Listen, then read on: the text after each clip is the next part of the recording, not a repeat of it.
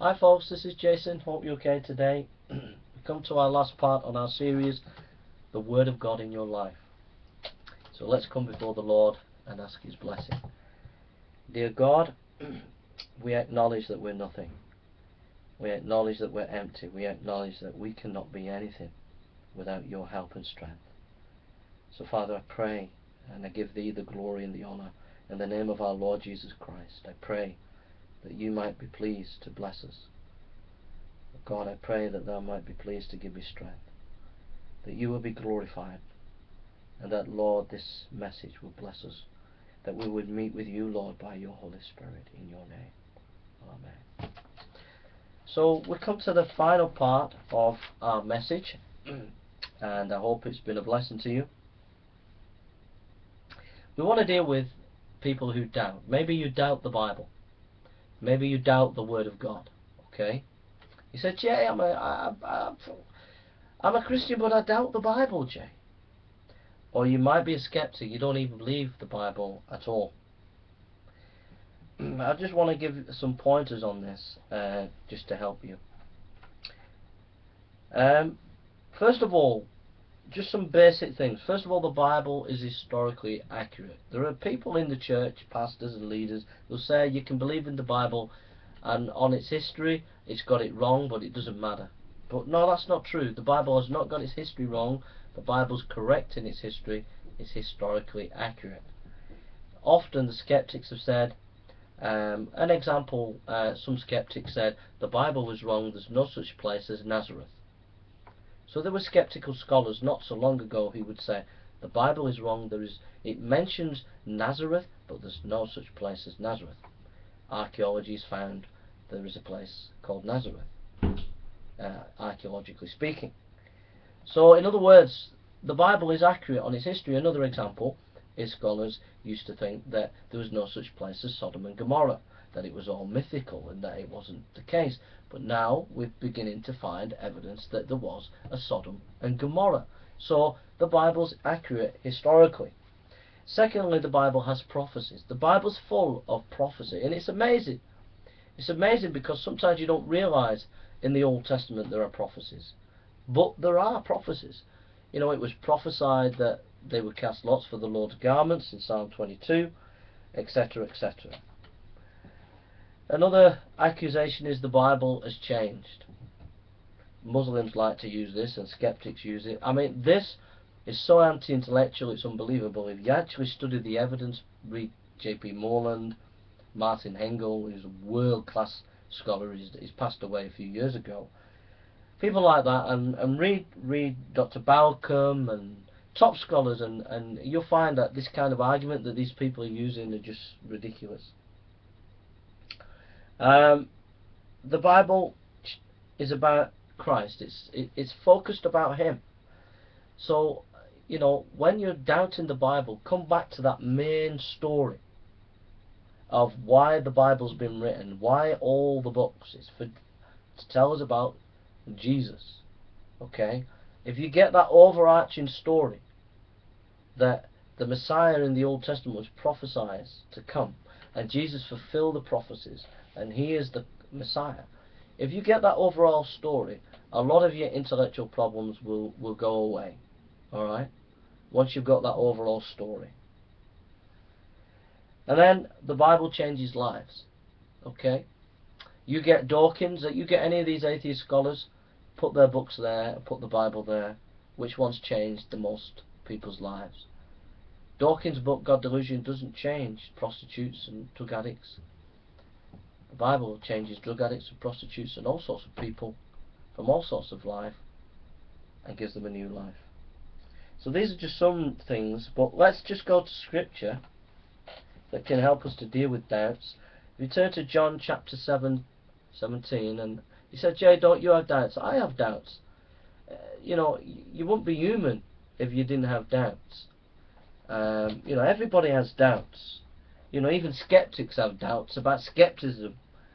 Um, but I believe the Bible to be the Word of God based on good evidence. Um, some of it I've just shared with you. Um, but at the end of the day, These are some of the key things that we need to be remembering about believing in the Bible. John chapter 7 verse 17. If anyone wills to do his will, he shall know concerning the doctrine whether it is from God or whether I speak of my own authority. I'll read it again. John 7:17. if anyone wills to do his will, he shall know concerning the doctrine whether it is from God or whether I speak on my own authority. If you do the Bible, you'll know whether the Bible's the truth or not. It'll either work in your life or it won't work in your life. And if it works in your life, you know that it's true. Now, a lot of young people have a lot of intellectual doubts and questions. Okay? Now, it's going to be even worse for you if you are sleeping around when you know you shouldn't be sleeping around. If you're taking drugs or getting drunk, but then you're saying, Jay, I doubt the Bible, you're going to doubt the Bible because you're not obeying the Bible. So you're never going to find out whether the Bible's true. So clean up your life and start obeying it, and the Bible will confirm itself to you. Proverbs chapter 2, verse 1 to 5.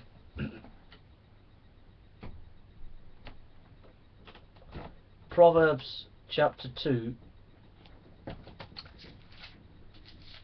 verse 1 to 5, it says, My son, if you receive my words and treasure my commands within you, so that you incline your ear to wisdom and apply your heart to understanding. Yes, if you cry out for discernment and lift up your voice for understanding, if you seek her as silver and search for her as for hidden treasures, then you will understand the fear of the Lord and find knowledge of God. You gotta treasure the Word of God, okay? You know, you excuse me. If you don't treasure something, if you don't value something, then you're never really going to appreciate it. Really, you know, it, it's like I've if someone gives me a great big diamond and it's in my house, but I don't value it. I just don't. I'm not bothered about it. I don't value it. Well, I'm never really going to appreciate the riches that I have. And it's the same with the Bible. If you just don't value it, then you're never really going to appreciate what it is. Now, even if you are a skeptic, even if you disbelieve the Bible, you still have to value the Bible. You can't get away from the fact that if you look at the history of science, the Bible has influenced science like no other book. All the great key developers of science throughout history, the major turning points of history, the main ones, have been through Christians who believe the Bible. Some of the great philosophical and cultural developments throughout Western and Eastern civilization came through the Bible. Or some of the great literature, not most of the great Western literature has been influenced by the Bible. Some of the great artists, some of the greatest sculptures and music has been influenced by the Bible. So you can come to the Bible and appreciate its riches even if you don't believe it. So you've got to have a respect for the Bible. And if you don't have a respect, then you're never going to find out what it's about or that it's true. Psalm 119 verse 18. Psalm 119 verse 18. Psalm 119 verse 18.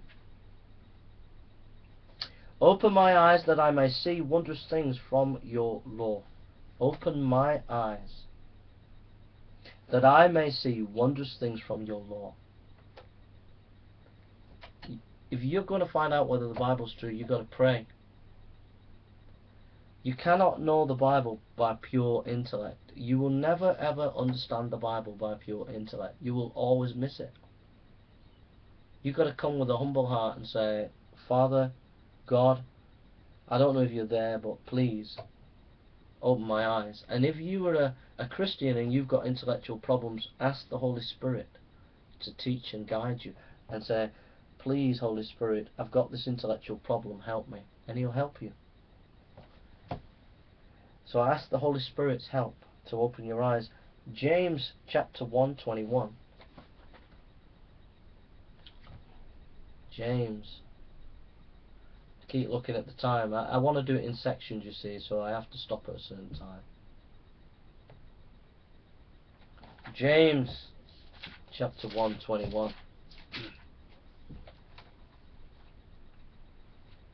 James chapter 121. It says, Therefore lay aside all filthiness and overflow of wickedness, and receive with meekness the implanted word of God, which is able to save your your souls.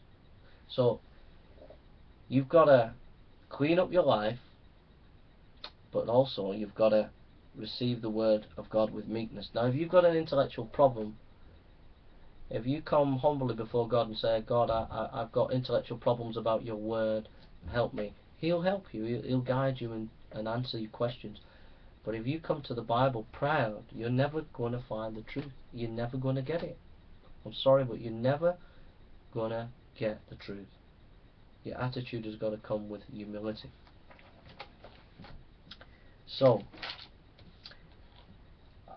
I just want to say I've studied at uh, two seminaries, um, one evangelical, semi-liberal, and a liberal seminary. I'm a conservative evangelical, I'm not liberal, okay. So I've studied at a liberal seminary, and I've studied at an evangelical, semi-lib, semi, a little bit liberal, okay. And I can honestly say that I've seen hundreds of students, many, many lecturers, theological lecturers, etc. And most of the problems that that the students have had is because they think they're clever. And most of the problems that the seminary professors have is because they think they're clever. And if you think you're clever, if you think you're smart, you're going to have problems with the Bible.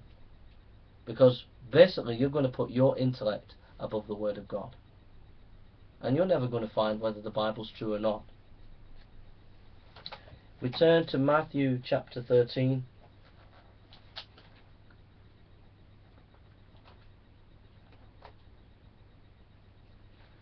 Matthew 13.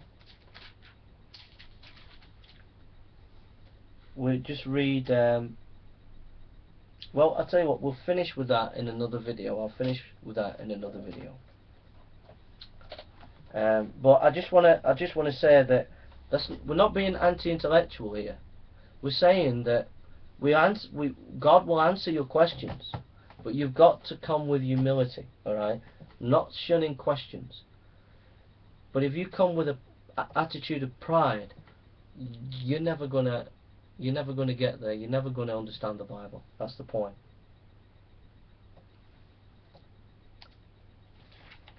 John Wesley says, I want to know one thing, the way to heaven, how to land safe on that happy shore. God himself has condescended to teach the way. For this very end he came from heaven, and he hath written down in a book. Oh, give me that book. And John, uh, uh, an anonymous word here. This book contains the mind of God, the state of man, the way of salvation, the doom of sinners, and the happiness of believers. Its doctrines are holy, its precepts are binding, its histories are true, its decisions are immutable. Read it to be wise, believe it to be safe, and practice it to be holy. It contains light to direct you, food to support you, comfort to cheer you. It is the traveller's map, the pilgrim's staff, the pilgrim's staff, the pilot's compass, the soldier's sword, and the Christian ch charter. Here paradise is restored, heaven opened, and the gates of hell disclosed. Christ is its grand object, our good is its design, and the glory of God its end. It shall fill the memory, rule the heart, guide the feet. Read it slowly, frequently, and prayerfully. It is a mind of wealth, a paradise of glory, a river of pleasure. It, give, it, it is given in life, will be opened in judgment, and will be remembered forever. It involves the highest responsibility, will reward the greatest honor, and will condemn all who trifle with its sacred contents. So we're going to just finish in one more video with the reading of a, a scripture verse and then a, a little thought and then closing prayer. So thank you for listening and I hope that was a blessing to you. Take care.